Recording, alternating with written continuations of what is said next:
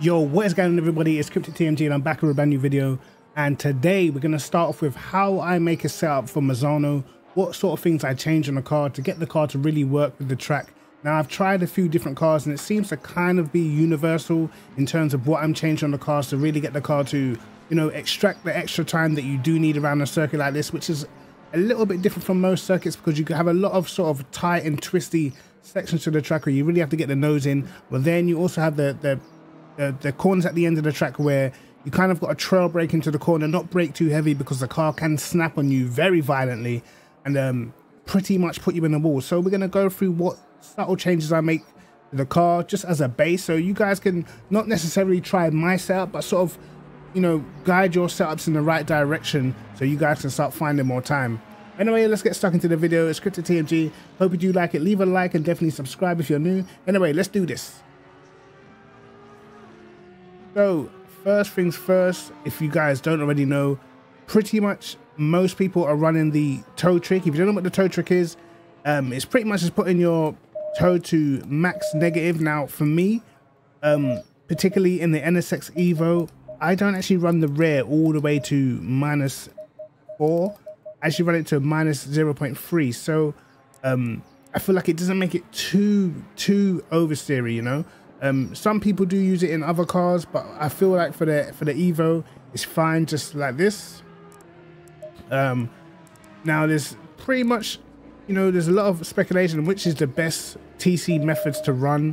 Whether you want to run 1.8 or whether you want to invert that and run 7 well, I've been running 7.1 actually, which feels pretty good. I do prefer to stick the ABS up to 5 on this car because I feel like it does struggle to slow down. And again, if you are trying this setup in the NSX Evo, you might want to consider running one of the other ECU maps. I believe there's a progressive, uh, linear, aggressive throttle map, and and you know I I tend to stick with ECU map 3, I believe. Um, but yeah, that's normally what I do for the uh, NSX Evo. Again, in other cars, it might be different. Not all cars in this game have TC and TC2. Um, I think the cars that do have it will be sort of the the Evo, the NSX Evo, the new Audi Evo, the Aston Martin, um, the Ferrari Evo has it as well. Um, does the BMW have it? I don't think it does. I can't remember. But um, not all cars have it, so again, it is down to personal preference. Uh, moving on to fuel and stuff like that, we already know we're going to put the brake pads on one. Now, if you're doing a race that's like for LFM, which I'm in the LFM server right now, which is about 25 minute race, you're going to want to want to be using brake pads one. Um, I tend to practice with around 25 liters, well, about 15 to, to 25 liters most of the time when I'm in the LFM practice server. Um, Again, that is personal preference, but if you are planning to do sort of two hour endurance races or anything longer, then obviously you're going to have to think about brake pads too. Uh, generally, I make a setup with brake pads one. And let's get stuck into the more juicy part of the setup. Now, for me, the mechanical grip and the aero are the two most important things for me around Misano in this car in particular.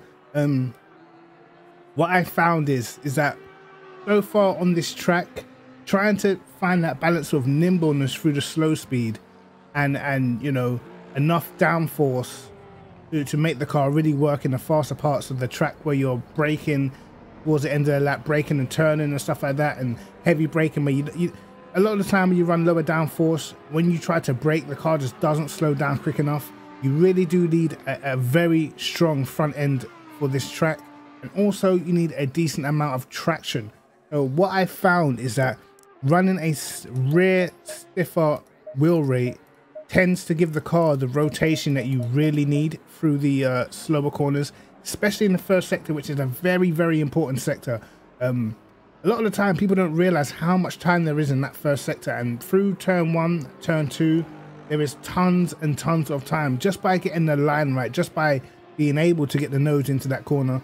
Um, and for me, so far, all the time I found the majority of the time has been with running a stiffer rear wheel rate compared to the front. I run the front um, quite soft. I'd say sort of medium. And a lot of the time I feel personally as if, you know, it definitely gave the car that, that bit more agility in um being able to attack that first sector of the lap. And again, in the last sector as well, where you come up to the penultimate corner, you really want to be able to go flat through the penultimate corner if you shift up early, which I'll show you guys a lap that I did um, later on in this video.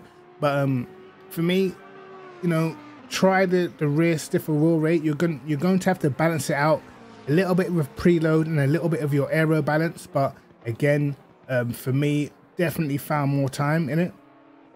And going to the anti-roll bars now, I've been making the rear anti-roll bar quite soft, and that's so I can get a little bit more traction out the corners without getting loads of wheel spin. And the front end I've had completely stiff. There's a lot of sort of extremely tight corners um, on this circuit. You really do need a pointy front end and that's what I've done to get the best out of the car. Now the dampers, I'm not going to do too much to these. These are actually default dampers. And I did try default dampers on the NSX even when I drove it. I did end up changing a few things, but, you know, it didn't, you know, I didn't feel progressively worse or better what I did change. Um, now going to the aero, this is where you're going to have to figure out what sort of balance you want. Um, how good are you at trail braking and sort of balancing the car on a knife edge? Me personally, my trail braking is not the best, so I actually normally run about max wing around here, and then I put the rear ride height up to between 65 66.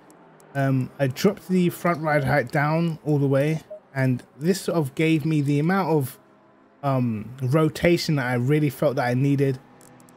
And so far, so good. And I did also try the AMG around here as well, and it was probably about about a tenth off of what I was able to do in the NSX Evo. Actually, I think if if I was able to nail all my perfect sectors for the NSX Evo, I probably would have been around about a 32 8 or 9. Um, I ended up getting a 33 1, which wasn't my which was wasn't all my best sectors, but it was still comfortably a decent time.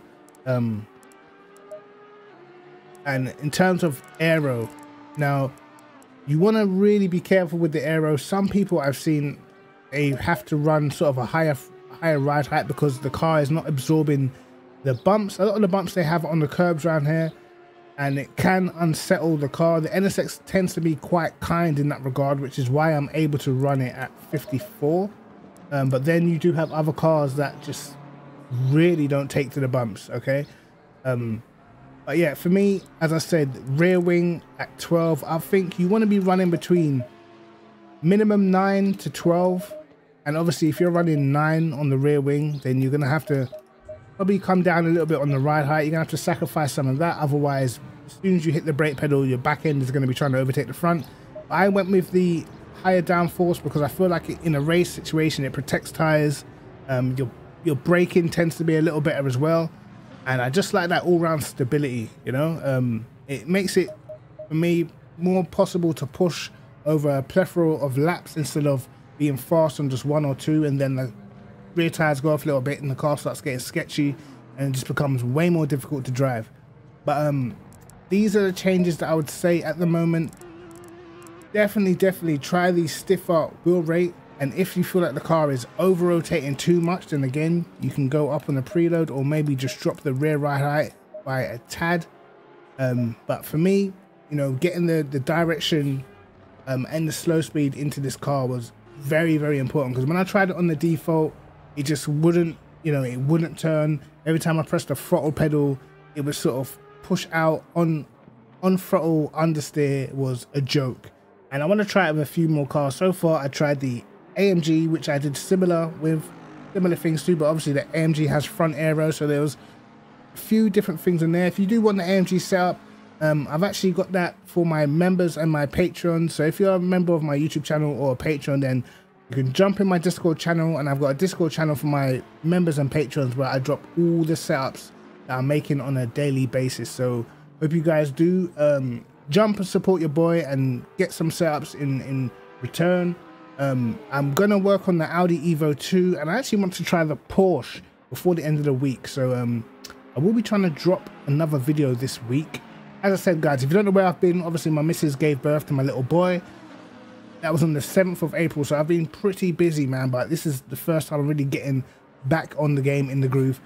And uh, yeah, hope you guys do enjoy the video. I'm gonna leave the lap that I managed to do and the actual setup that I had for this car and just wait to the end of the video, you'll get the setup. Anyway, Scripted TMG, like and subscribe, hit the notification bell to catch my videos first, and peace! Amazon is a tricky track, you have to be, you know, willing to cut quite a lot of the corners, and it kind of seems like, you know, going against what you're supposed to be doing in terms of how you're supposed to be driving circuits. Now, if we slow it down for turn one, you can see how much of, how much of the entry that I'm using on the curbs, and then we're going to completely cut across turn one and that really is, we're just opening up the circuit as much as we can to maximize um, the entry speed. And we're trying to keep our car more towards the right.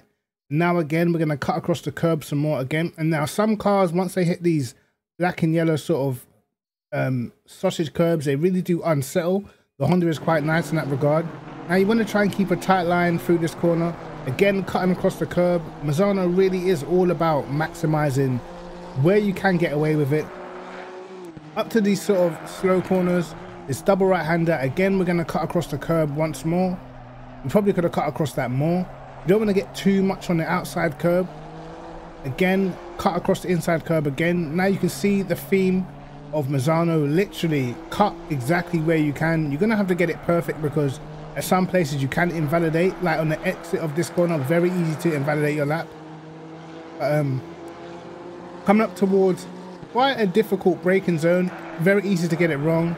When I brake around the 100 meter board, and again we're gonna cut across this inside curb. We could have actually cut it more, but um, still managed to get a decent, decent exit. The car can slide on exit here, and sometimes it does lose you quite a bit of time. Again, this corner, probably one of the most tricky corners on the whole circuit. You're sort of trail braking in. I try to sort of brake in a straight line to get the maximum amount of um, braking pressure done without unsettling the car. Again, you want to cut over that inside curb quite a bit. I didn't manage to that much, but managed to carry good speed through the corner. Now, this part of the circuit is, if your setup is not balanced, this is where it's most likely going to kill you. We're coming through this fast section, we're going to slow it down a little bit because it is pretty tricky. And as you hit the braking zone, the car can become unsettled, but we're pretty stable through here. Cut across the curb again use a lot of the exit curb on the outside. And as we hit the brakes, you brake in a straight line again. And then you sort of want to take a layer apex. I didn't cut over as much of the inside of the curb as I wanted to. But try and keep the car in a straight line on exit. Not too much wheel spin. Again, we short shift up into third, cut across the penultimate corner. Those curbs can unsettle your car again. Almost pushes us out and invalidates our lap. But I managed to keep in now. Watch this corner. I actually brake pretty early for the last corner and then we cut across again. See how much of the track we can actually cut. It's pretty insane. And yeah, that's a lap around Misano. Pretty tricky. You have to be able to take advantage of, you know, all these curves and stuff like that. If you're new to the game, and what I notice is a lot of people, they, they drive extremely neat. They're extremely neat while driving. And a lot of the time, it's just, it doesn't, it doesn't wield the lap time. Although they are very neat, um, it doesn't yield the lap time by being, you know, completely inch perfect off the curbs. You really do have to track extend and push the car to the absolute limit. So hope you guys did enjoy the, the lap guide. I'm going to let you guys watch the replay and I will be dropping the setup for you guys in the description below. I also have a setup folder in the description below, so don't miss out on that as well. But anyway, hit to TMG, like and subscribe, hit the notification bell to catch my videos first, and peace.